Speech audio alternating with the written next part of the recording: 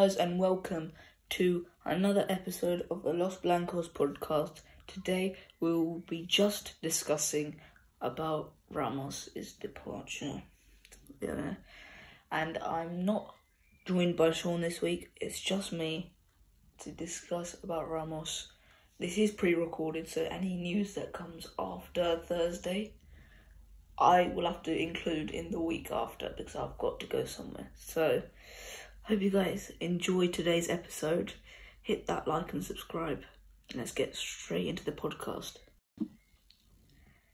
So, yesterday evening, uh, I was coming back from football and um, my phone, I got a notification from my phone from Fabrizio Romano stating that Sergio Ramos would be leaving and the club announcement would follow soon. And I, I was, uh, you know, your word can't sum up how what I was feeling at that time. But I'll try and say that I was feeling distraught. That that's that's the only way to say it.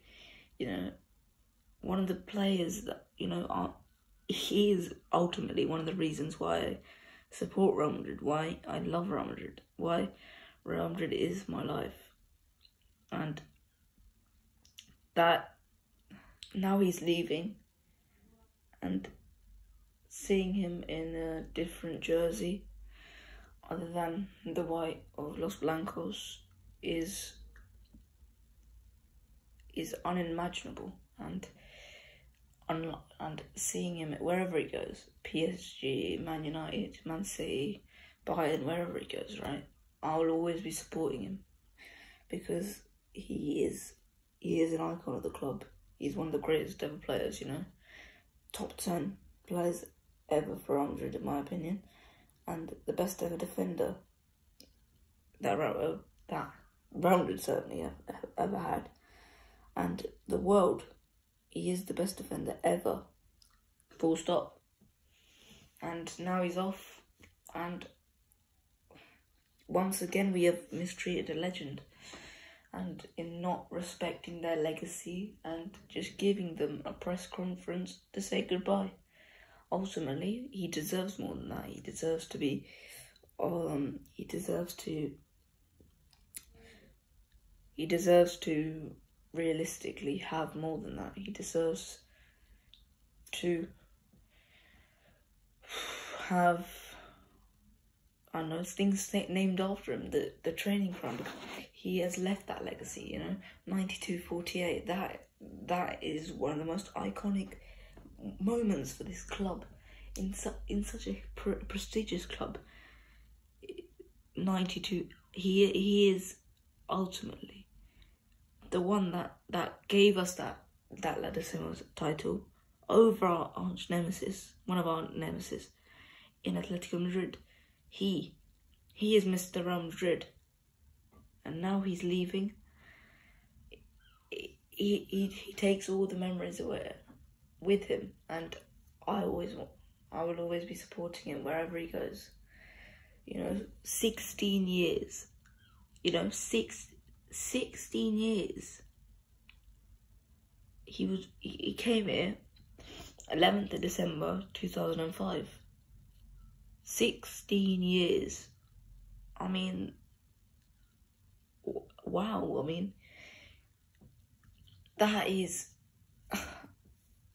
unbelievable. And he's and he's had so many rumours. Oh, he's going to go to Man United over the years, but he's never left. He's he's stuck loyal to Madrid, and that's that's that's what's so good about him. He's he is Mr. Madrid. You know, people are speculating that he'd leave for eight months, nine months now. Um, and in the last couple of, couple of weeks, we've had we've been told that he wants to accept the offer, and that was confirmed in the press conference today that he wanted to accept the offer, but he was no, told that the offer was no longer on the table, which is disgraceful. I, I think, you know, he was willing to take the pay cut. He's willing to take the year, the one year deal. So why aren't you giving him the deal? That that was what the problem was. Now he's done it. I, I don't understand what was changed, and that's that's not good enough because, and I don't think Alaba's arrival changed that. It might change Varane's future, and I fully understand if it does. But with Ramos, I don't think it does because, you know, Ramos's contract have, has been there after the after the Alaba deal, so I don't think it's taking the chunk out of Ramos's deal. So now Ramos is leaving, Alaba's coming in, and I don't know if him leaving is, is such a good idea. I've, I've become more open to the idea of Varane leaving rather than Ramos. I I was thinking Ramos staying is much better than Ram, Varane uh, staying in turn because Varane is obviously fantastic footballer in the prime of his career, but we can still get a fee for him. And I think if an offer does come, I still think we should accept it and try and get Akunda instead. But now Ramos is leaving as well, and it's it's just not, it's not, it's not, it's not, it's not great, is it? And I'm just gonna recap what he's done for Real Madrid. Obviously, he's 16 years. He's made six. He's played 671 games in that time, which let that sink in. 671 football games. 671 football games. You know, 90 minutes football games. You know that that's gonna account for loads.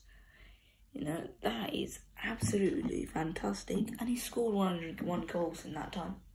101 goals for a centre back slash right back in his early years is is just is it's sensational. Sensational, not the word to describe it. You know, it is legendary statistics. Those are in the modern era. You know, not when you know back then, back yonder when I don't know computers didn't exist and all these statistics did not exist, right? What I mean is here in the here and in the now, Ramos is the best player, is the best defender that's ever been, that's ever graced the world, you know? And penalties, free kicks, headers, just full on shots at goal. He scored them all for us. And it's all all of that is leading up to that 92 48. 92 48 is, you know, also for most Madristas, that is the pinnacle, pinnacle of of Real Madrid, what they've seen, including mine.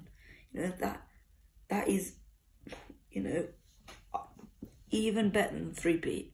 That was probably one of the best moments ever for me.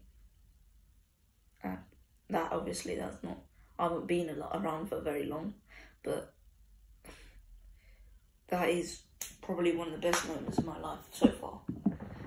And to say that Sergio Ramos was the reason for that is is is is thank you thank you Sergio thank you so much and he's he's he's obviously changed from right back to centre back reached the pinnacle of his career at, under Mourinho and he's he's shown his best best level, and he's been the best centre back, no doubt, for the last ten years.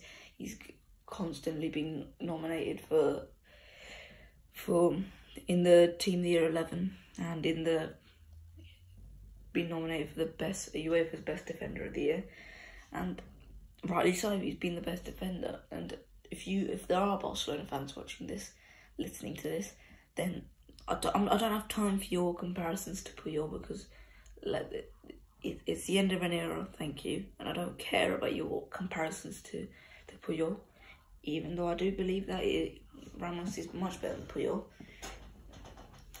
It's it's it's it's time to reflect on a, on the end of an era for, for Real Madrid, end of an era. And I thought I was sad when Ronaldo left. This is I'm I'm I'm feeling much worse now that Ramos has left because because he has such a a, a connection to the Real Madrid fans. He is a he is a Madrista. He is a Madrista more than a lot of people, and to have that in a player who's willing to die for for the white of Madrid is is is fantastic, and it's it's key, you know. And with him leaving, you know, with Ronaldo leaving, he was my favorite player at the time. Um, you know, I, I was truly, truly distraught, uh, as I am, but it felt different with Ronaldo because Ronaldo obviously hadn't spent as much time with with Madrid, and it, and it felt like he was he was giving up Madrid to move on for a different challenge. And the fact is that Ronaldo realistically he he could go anywhere, and he didn't want to stay at Madrid. Ramos did want to stay at Madrid. He was he, he had ambitions of that, and now he's off. And I can't believe this is goodbye, but it is, and it's hard for us to accept that as Madrid fans, but it's happening, and and there's nothing we can do about it. You know, Florentino, uh, I thought he would get this deal done back in you know October, November. I thought he'd get it done, but it hasn't happened, and it's got to this stage, and now he's off. So that'll be the end for this podcast. Hope you join us next week. If there are any better bits of news for next week, you know, this is not the greatest news, and I'm not feeling great. I don't, I don't, I'm feeling really sad. But let me know what you guys think down in the comments, and I'll see you guys later. Bye.